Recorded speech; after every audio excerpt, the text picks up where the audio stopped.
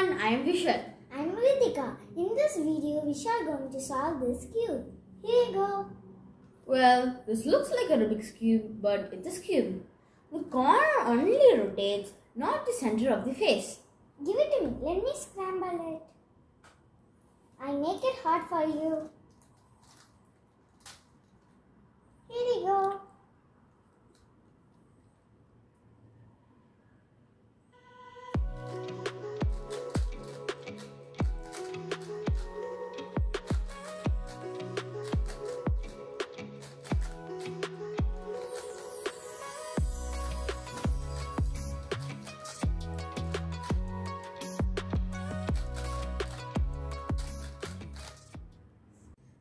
Just 20 seconds. Impressive, Vishal.